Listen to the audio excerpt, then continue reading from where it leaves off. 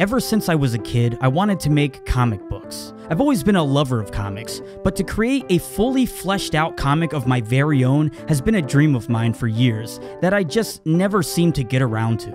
Sure, I made a few poorly conceived comics when I was in elementary and middle school, but they weren't very good. I didn't have a plan of where I wanted to take the stories or characters. I didn't have the motivation to continue developing them, and eventually, I gave up on the pursuit. Over the years, I thought about revisiting the idea several times, starting projects but never finishing them. Like, for example, four years ago, when I first announced in a YouTube video that I was going to make a comic book called Requiem of the Crazies, showing off a few pages that I had drawn. Well, the idea just ended up on the back burner as I followed through with other pursuits that took up my time, like recording albums and making YouTube videos. But over these past four years, that unfinished graphic novel has been floating around in my head, picking at my brain and waiting for its time to get developed. Well, if you haven't noticed, I've been slow to post any new videos on my channel, but not because I've given up on YouTube, and not because I'm dead. No, I've just been in a hiatus to focus my efforts on finally getting this comic series on the roll. And so, the Requiem of the Crazies graphic novel is the next big project that I'm turning my attention to.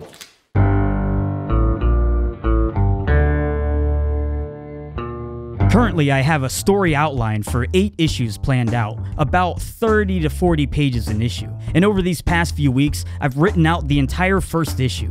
Requiem of the Crazies is a tale of two bums, Dante and Vernon, who uncover a dark reality about the urban homeless community they live in. Mainly that it's being controlled by a sadistic, insane cult leader who is manipulating the minds of the homeless and coercing them into doing his nefarious bidding.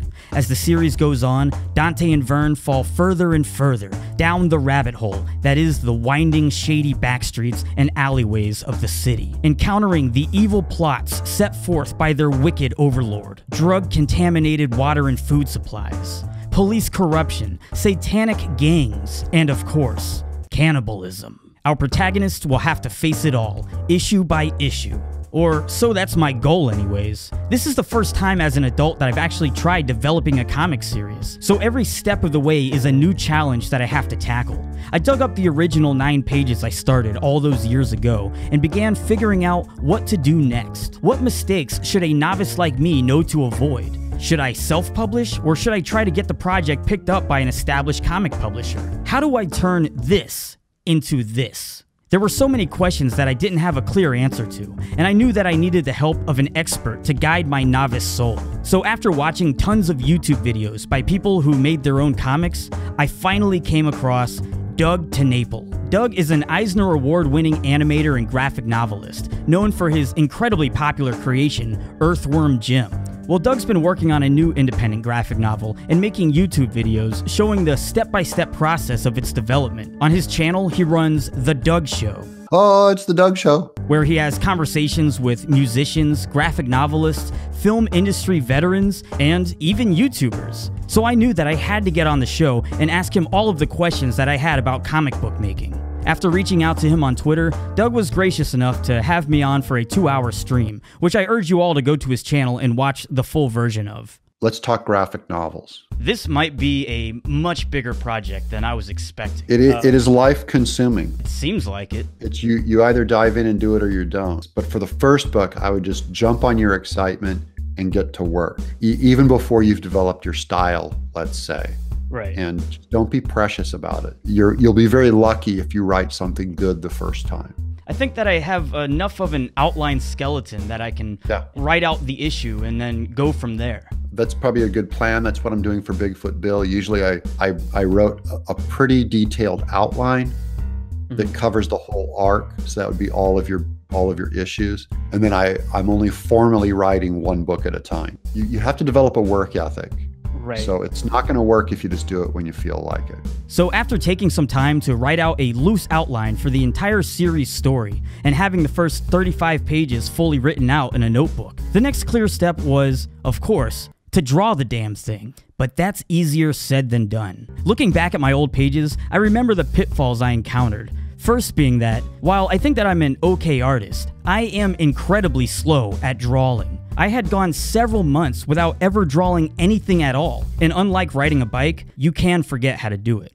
So drawing slow is fine. Um, I know guys that can only pencil one page a day and they ink a, a page the next day.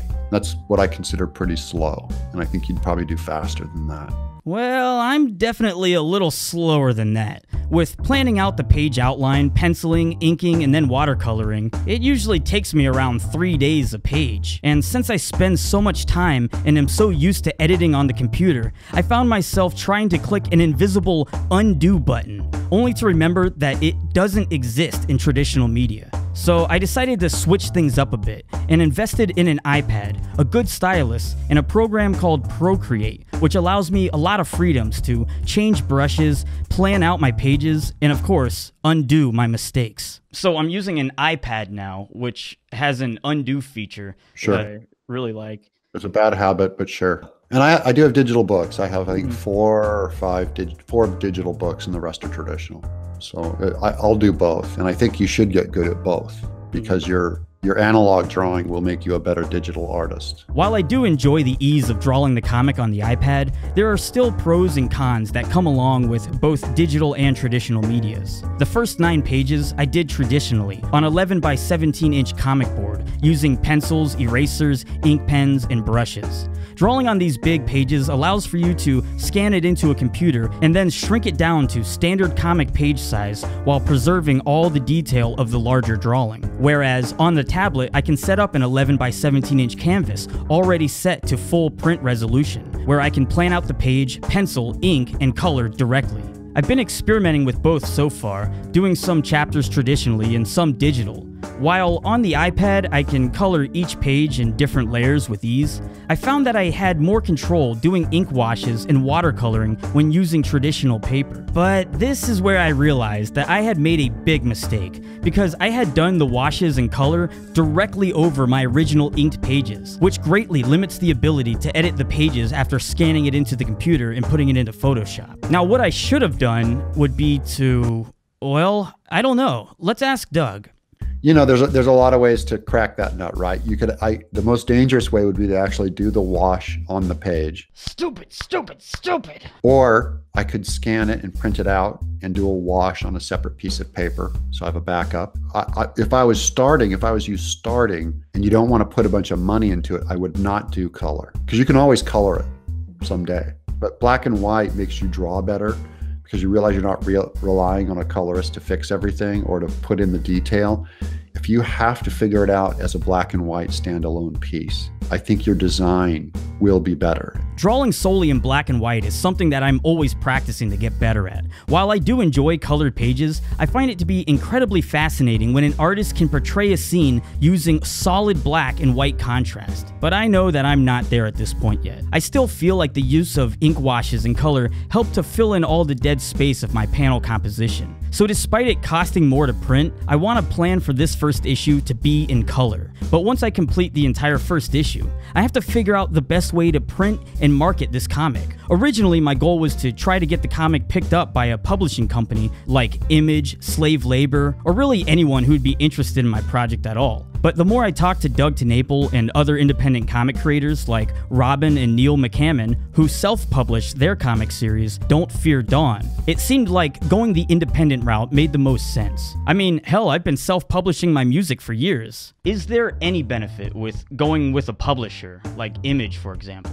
I really don't believe in that you need a publisher with the internet and with and with self-publishing now. So if you look at what I do with Bigfoot Bill just recently, I'm I've come full circle. So I've had all these publishers and and big books and stuff, and I'm back to just publishing it myself, which anyone could do what I'm doing. I just went on Indiegogo and raised a hundred. I'm up to hundred and eight thousand dollars, I think, which is more money than I've made on any book, and it's independent, which is what I'm going to recommend to you. Also, is because you have so much um, internet presence that monetizing that for your book will be, I think, the right route to do.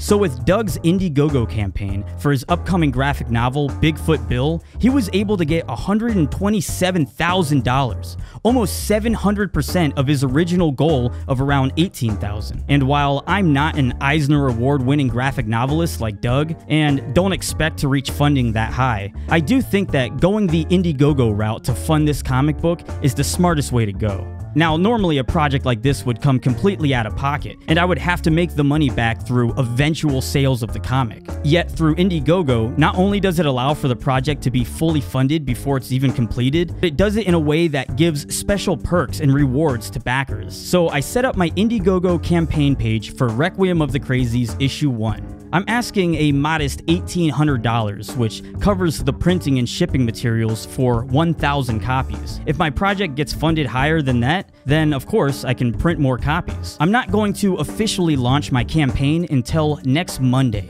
I'll have a separate video made for its official launch date. So this will give any of you potentially interested backers time to see what kind of perks that you can get for your contribution if you decide to fund this project. I'm offering everything from signed copies of the comic, posters, personally drawn sketches, and even having your name printed in the back of the book on a special thank you page.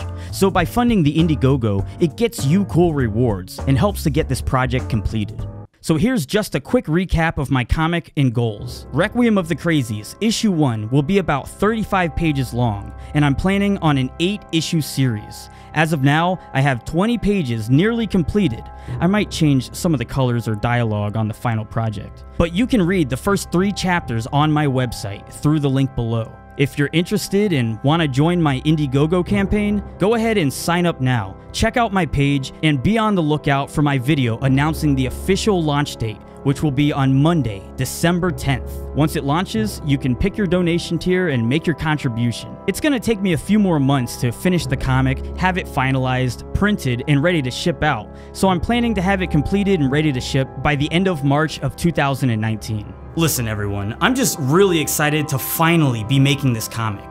I've already had some sort of moderate success on YouTube and with my music, and so I'm hoping that I can do something with this comic that you will all love. I want to give a big thank you to Doug TenNapel for helping me get to this point with his advice. Seriously, everyone, go subscribe to Doug TenNapel and help give his channel a boost. And when you do, tell him that Rusty sent you. Also, a big thank you to Robin and Neil McCammon.